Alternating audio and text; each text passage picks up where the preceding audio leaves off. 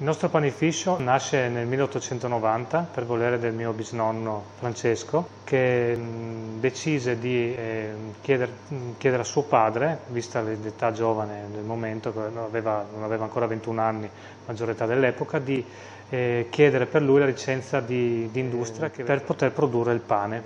Era interessante che all'epoca appunto molta gente il pane lo faceva in casa e quindi eh, lui cucinava conto terzi, nel senso che aveva un piccolo obolo per la cottura del pane, magari per le signore che non avevano un forno adatto per la cottura o proprio non ce l'avevano. E poi in realtà lo preparava anche ovviamente perché voleva acquistarlo. E mio nonno eh, gli subentrò, elevò l'attività e nel 1949 eh, costruì il, il secondo forno con esso cucinò pane e prodotti da forno in genere fino, pensate, fino al 2012, quindi cucinò per parecchi anni eh, il pane per la comunità in questo forno. Mio padre fece tutta la vita lavorando su, su, questo forno qui, che noi nel 2012 decidemmo di sostituire perché ormai era fine corsa, eh, con un altro forno a legna, quindi ci siamo incaponiti e abbiamo voluto mantenere lo stesso tipo di lavorazione, di cottura del pane, mantenendo le ricette tradizionali dei nostri avi. Per quanto riguarda appunto la lavorazione abbiamo sicuramente più, diversi tipi di pane rispetto al passato e abbiamo scelto anche di curare una linea con farine biologiche.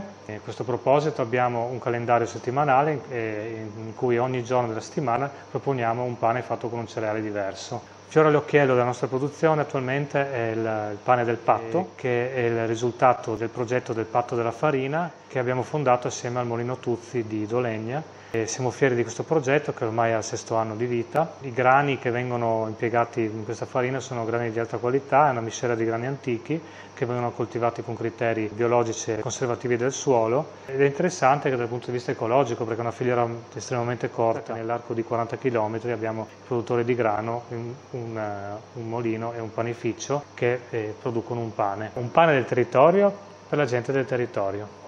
Siamo la quarta generazione di panificatori, siamo sempre rimasti un'azienda familiare. Attualmente siamo io e le mie sorelle. Ora appunto abbiamo alcuni collaboratori perché comunque la produzione per quanto piccola è aumentata. Abbiamo cercato di investire soprattutto su, su ragazzi giovani anche per trasmettere un po' le, questi valori anche alle generazioni a venire.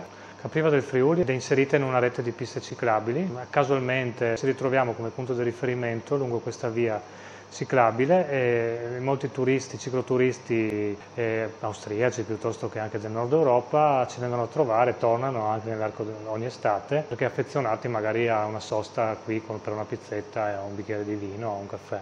Se prima era solo panificio e pasticceria, adesso c'è anche l'angolo bar che vuole essere uno spazio aggregativo per la comunità. Per il futuro, secondo noi, le farine buone, tra virgolette, saranno sempre più rare, quindi si produrrà di meno, la gente imparerà a consumare di meno, ma più di, più di qualità.